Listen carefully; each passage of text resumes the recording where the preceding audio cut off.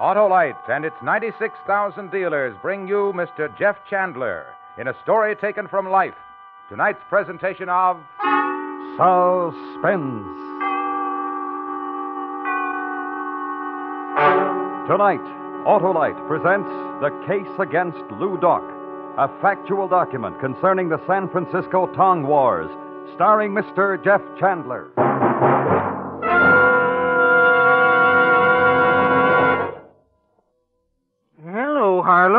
Hi, Hap. How's it going? Oh, horrible, if you mean my car. It wastes gas. It's tough to start. Uh huh. Yeah. Well, why don't you go straight, Hap?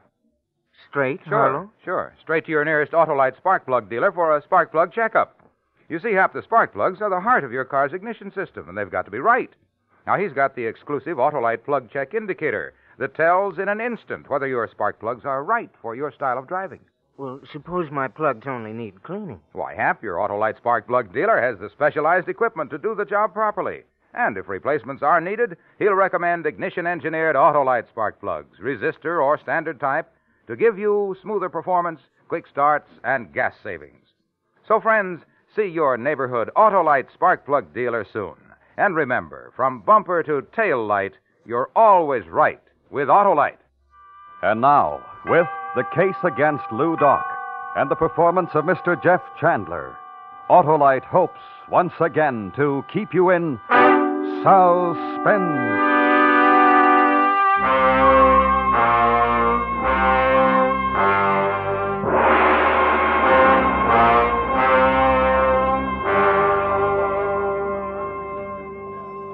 Lieutenant Sunjack, take your men, go up to the other end of the alleyway. Plant them back in the doorways. It's plenty dark, they won't be seen. I'll do the same down at this end. The signal to move will be a sharp blast of the whistle. You got that? Right. All right, man. You heard the captain. Where's the DA? Over there. Oh, yeah. Thompson, let's get this thing back. Well, looks like I'm right on time. Oh, oh, Glasgow. I'm glad you got here. Hey, this must be an important one. Looks like the whole San Francisco police force is here. It's a big one, believe me. Oh, you know Captain of Detectives Wilburn? Yeah, yeah, we've met. And this Lieutenant Sonjak. I'm glad to meet you. Glasgow. The men all have their instructions, DA. Good. Then take your positions. Okay, men, let's go. All right, Thompson. Yeah. You want to come along with me, Glasgow? Our stakeout's down about midway in the alley. All right, with you. It's a laundry. There's a vacant storeroom upstairs. We can watch it from up there. The uh, message you left for me back at the newspaper office wasn't too explicit, Mr. DA. Well, tonight's the night we've been waiting for. More murder and mayhem. Hmm, perhaps. Look, you've arrested hundreds of Chinese before, all members of some tong. What good did it do? Well, none. Just arresting the hatchet man isn't the answer. No, sir. Well, this is it.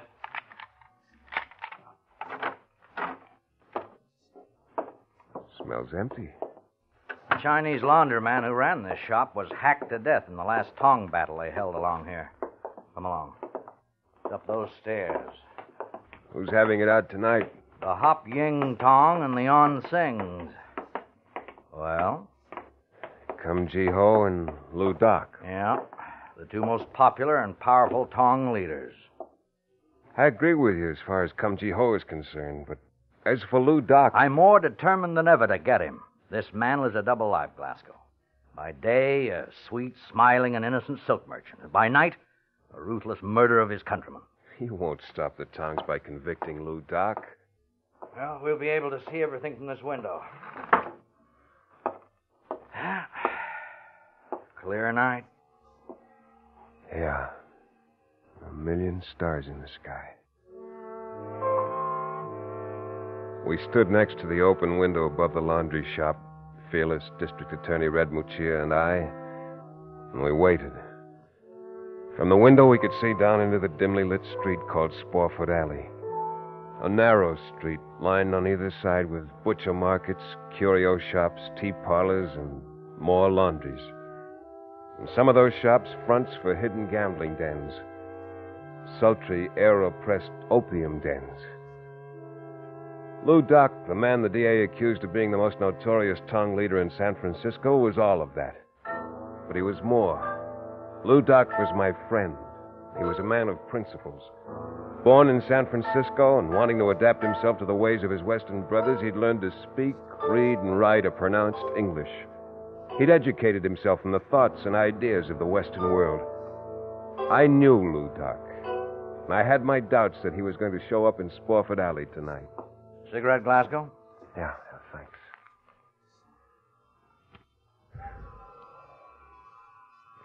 What makes you so sure Lou Doc and Cum Ji Ho are going to show tonight? They're bitter enemies. When Cum Ji Ho learned that Lou Doc's brother was in love with one of his favorite sing song girls, he, he challenged the Hop Yings. What's the girl's name? Ah Toy. She's a dancer at the Golden Lamp. Oh? On surface, the incident is just a spark to ignite the flame, Glasgow.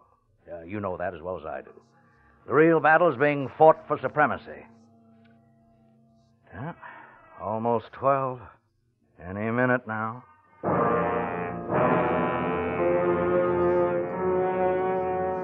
We didn't have long to wait. Because at exactly 12 o'clock, a loud, shrill cry rang out at one end of Spofford Alley. And at the other end of the alleyway, the reply. And another full scale Tong War began.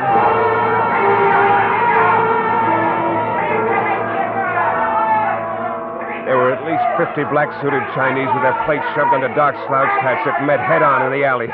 Their hatches reflected the moonlight as they crashed open enemy heads, and long, gleaming daggers found their marks in soft, easy flesh. And as the police moved in, they scattered in every direction, stumbling over the dead and wounded.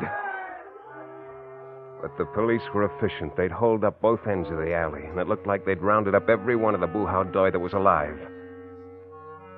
The district attorney paced the floor of the storeroom, his hands nervously twisting behind him as he waited for his captain of detectives to report to him. Then we heard heavy steps coming up the stairs. In a few moments, three men appeared at the head of the landing Captain Wilburn, his Lieutenant Sanjak, and a smiling, dark haired Chinese with his hands tied behind him.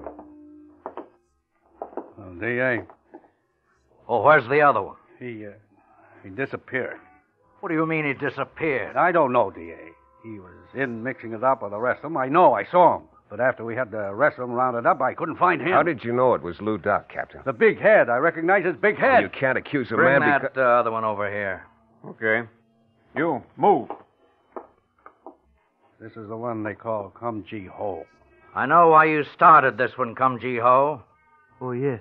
How did Lou Doc manage to escape? Oh, yes. Lou Doc. Very fine silk merchant. Yes. Don't stall with me. It'll go a lot easier on you. You know you're not going to get this man to talk. We'll see about that. Now, I want the names of every boo how doy that fought in the alley tonight. Chang, Talo. Diang. What was that? I think he said he wants his lawyer before he speaks another word. Correct. A lawyer? Yes. Thank you. I never heard of it. Looks any. like tonight wasn't the night you thought it was going to be, D.A. I'm afraid your net results are zero.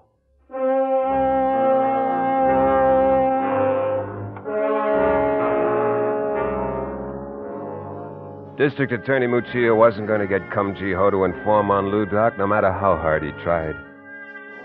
For a Tong member to testify or inform on another, even your most hated enemy, which was a rival Tong, was certain death. And in most cases, members of your own Tong would carry out the death sentence. In the wild confusion of that battle, it would have been impossible to tell whether Lou Doc had taken part in it. Captain of detectives sworn he'd seen him.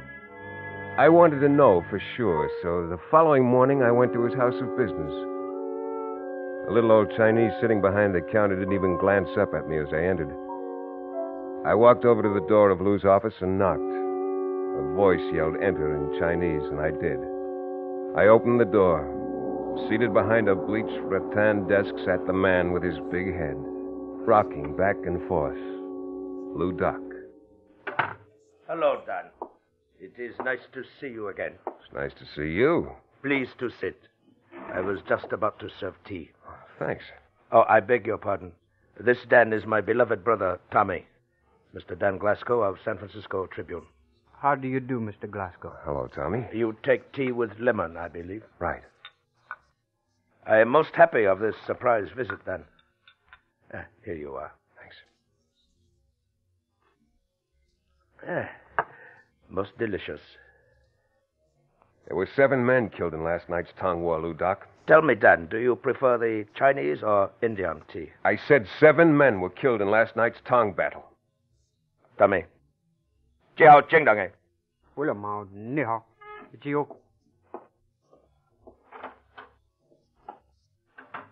What's the matter? My words too strong for your brother's sensitive ears? Then, if you were not a true friend, I would easily kill you with my own hand for such remark. I'm sorry, Lieutenant. You, as I, believe in righteous principles. It was upon this discovery that I grew very fond of you. I've honored our friendship. In the ways of your Western world are many things that my people do not understand. Among my people are certain things which the Occidental does not understand. But cold blooded murder is not a way that either world should have to understand. True. But I have read in the Western world books, I read of organization called California Vigilance Committee. Oh, look, that committee is was to protect the innocent from the guilty. Yes, no argument. But for the protection. In Hop Ying Tong is protection for my people. Now comes time when most beloved brother falls in love with Sing Song girl named ah Atoy. He wishes to marry with her. She returns his love. It must be so. And, and so, in order to bring about this marriage, hundreds of men may lose their lives. If it is as the gods design, yes. There's nothing that I can say that can convince you to settle the whole thing peaceably? In China, perhaps by tribunal, but in San Francisco, then, it is not probable. We must settle this difference by other means. Oh, and I'm sorry, Lou Doc. I'm sorry for your people. There is no one upon whose heart this sorrow hangs heavier than mine. And with that, Lou Doc rose up from his chair. Stood staring at me for a moment through tear filled eyes. Then he turned and strode majestically out of the room, his large head bent as if in prayer.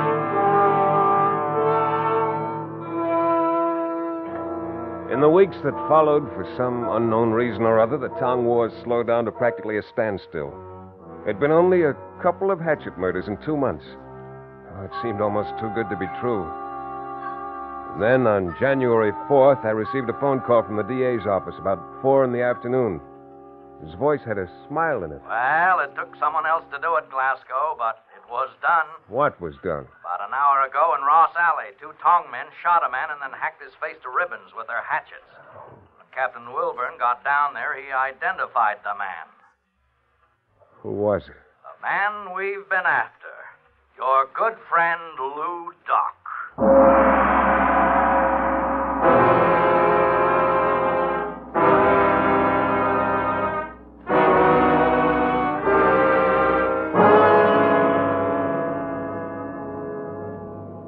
Autolite is bringing you Mr. Jeff Chandler in The Case Against Lou Doc.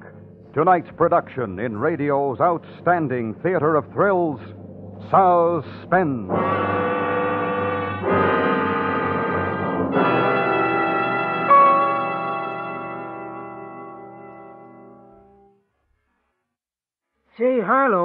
Just what does ignition engineered mean? Well, Hap, it means that Autolite spark plugs are tops in quality and performance. That's because they're designed by the same Autolite engineers who designed the coil, distributor, and all the other important parts that make up complete ignition systems, used as original equipment on many leading makes of our finest cars, trucks, and tractors. Well, that's a pretty good reason to use 'em, Harlow. It's the best, Hap. So have your Autolite spark plug dealer replace worn out spark plugs with either standard or resistor type Autolite spark plugs for smoother performance, quick starts, and gas savings. They just don't come any better than Autolite. Autolite spark plug dealers offer the best spark plug service money can buy, too, Harlow. Right you are, Hap. So, friends, to quickly learn his address, call Western Union by number and ask for Operator 25. She'll gladly tell you the location of your nearest Autolite spark plug dealer. And remember, from bumper to tail light, you're always right with Autolite. And now, Autolite brings back to our Hollywood soundstage Mr. Jeff Chandler in Elliott Lewis's production of The Case Against Lou Doc, a dramatic report well calculated to keep you in suspense.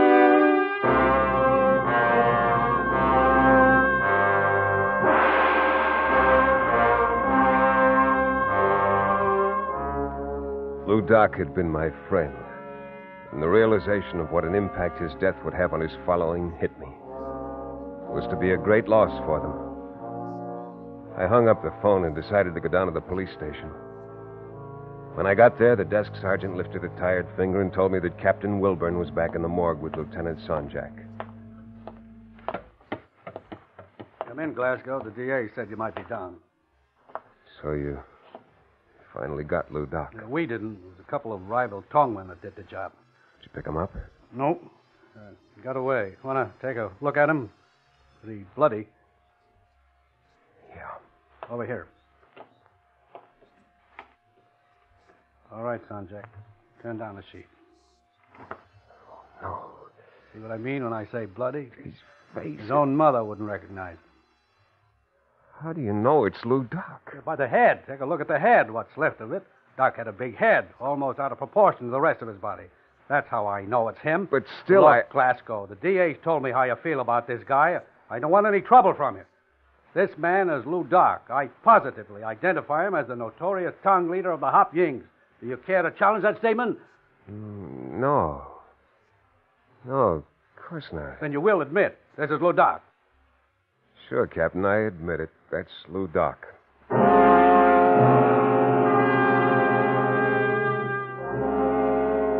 I admitted it because the thought suddenly occurred to me that here was the opportunity I'd been waiting for. The dead man lying on the slab in the police morgue was not Lou Doc. The police had no positive identification as to who the man was, but it looked like a perfect way to ease the pressure that was being brought to bear on them. Captain Wilburn knew that faceless man was not Lou Doc as well as I did.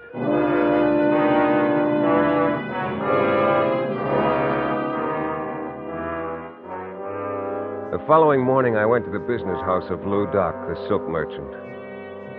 Just as I'd expected, the name on the door had been changed.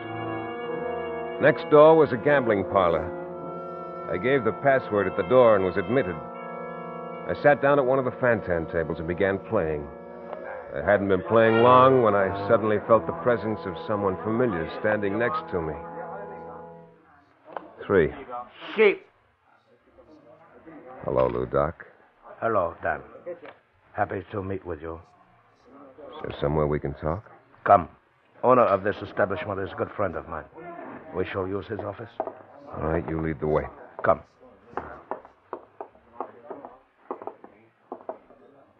In here. Now, we are alone. Yeah, You're still hale and hearty, even though you're dead. That is not good joke. Take it you read the morning papers. Oh, yes. In time to change the name on your place of business. You were pleased to see elimination of Lou Doc, weren't you, my friend? You want the truth? Our most precious bond, Dan. Yes, Lou Doc, I was, because now it's no longer necessary for you to work with any tong. It surprises me that you, of all persons I respect, should think that way. There's great work yet to be done among my people. Forget the work, Lou. It's a battle that won't be won until every tong is disbanded. And if I leave, what then? Kumjiho and his tong take over leadership in San Francisco? The terror that exists now will seem, my friend, a mere particle? What about the police? The police are satisfied, you know that. The notoriety and publicity that have gone before will no longer continue to follow me. The Hop Yings will continue to exist, and you still behind them. Yes, my friend, to make decisions. I will set up puppet leader, but their rival Kumjiho will always know that still sitting on the throne of the Hop Yings is Lou Doc, the man he fears. I'm a newspaper man. I have to print the truth. You know that. Yes, my friend, I know. I also know something else. Yeah? I also know, Dan Glasgow, you are a true friend of Lou Doc.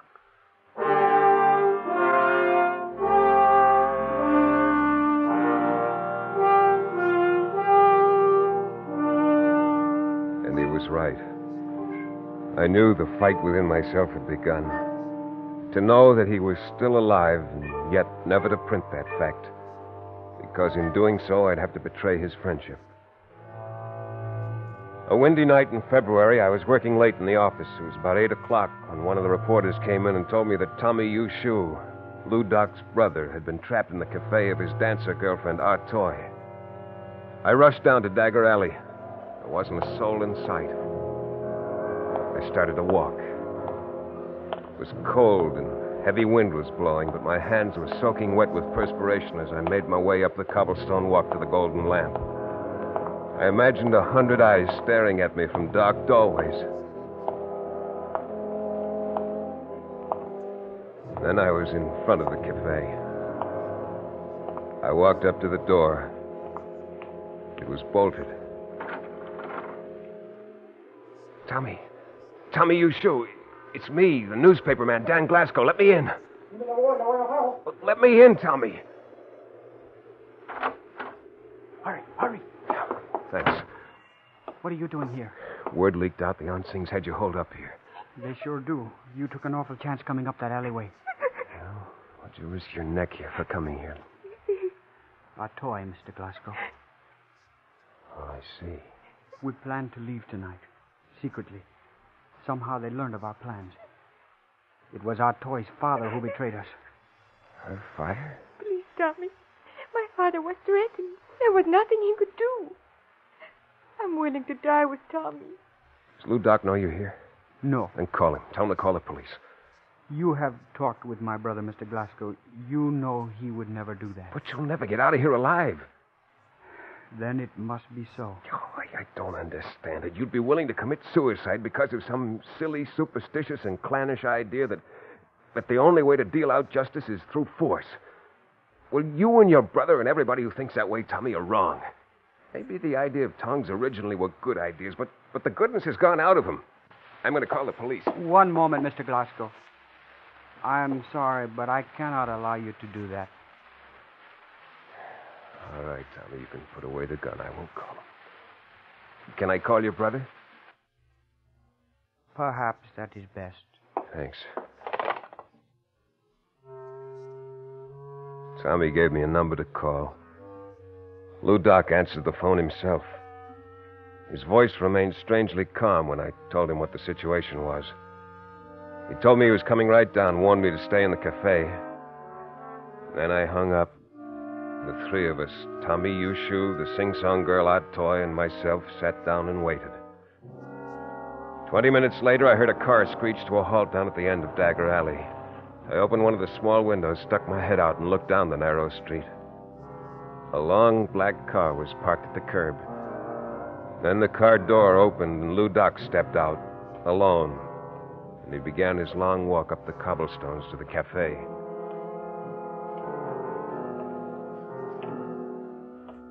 He walked slowly, staring straight ahead, his body firm, rigid, in one position. It was just the movement of his legs. Wearing a long black coat, he looked like a giant as he took long strides, holding his oversized head high. Lou, Hello, Don. you better get inside. There must be at least 25 of them out there. I'm all right. Tell Tommy to come out, But, Don. Lou, you, you don't have a chance. They won't attack me. They haven't the nerve. Tell Tommy to come out. Tommy, he wants you to go with him. Tommy? I've got to go, Atoy, but I'll be back for you. Do not fear, my beloved. Tell beloved him to one. hurry, Don. Tommy. I'm going. Hello, my brother. And good you. to see you. Goodbye, Don. I see you soon again. Soon, Lou Doc.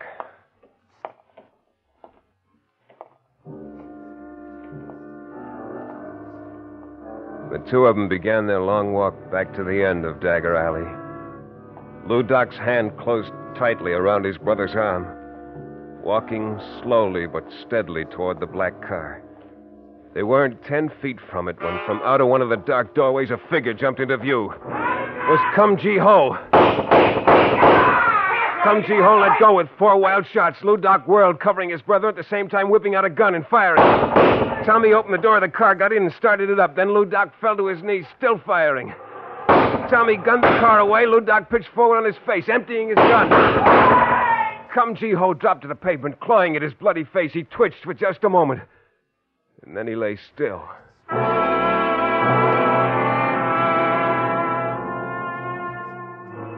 When I got to Lou Doc, he was still alive, but bleeding badly. He looked up at me. Much pain, my friend. Much pain. Uh, there'll be an ambulance any minute now, Lou. Just, just hold on. This is not death I prayed my ancestors to give me then. I die lying on wet pavement in dark alley at night. My wounds bleed freely. Lou, you, you're not gonna die, Lou. Our most precious bond, truth in our friendship. Promise me, promise as you hold me in your arms, my friend, that in stories that will be written, in, in one of them, someone will write, so, someone will, write that beneath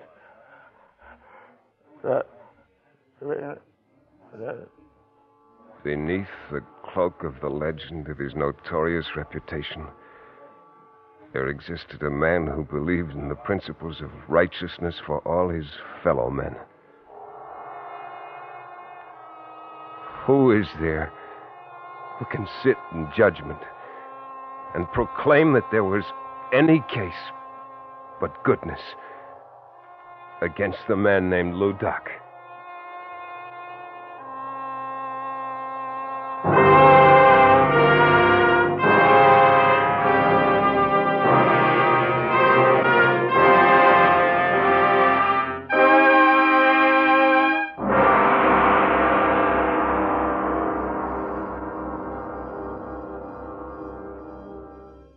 Suspense.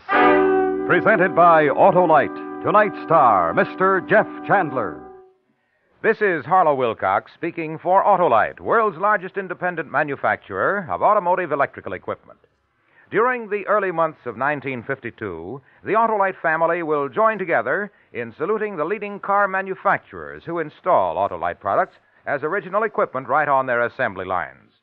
Our Autolite family is made up of the nearly 30,000 men and women in 28 great Autolite plants from coast to coast and in still other Autolite plants in many foreign countries.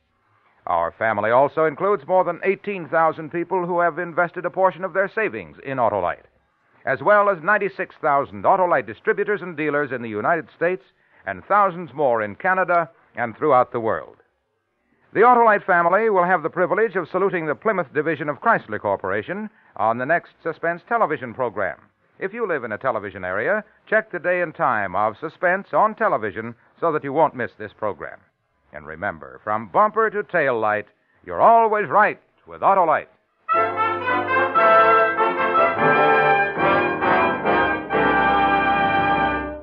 Next week, our star will be the First Lady of Suspense, Miss Agnes Moorehead, as Lizzie Borden, in a dramatization of the most famous unsolved American murder mystery. A true story we call The Fall River Tragedy.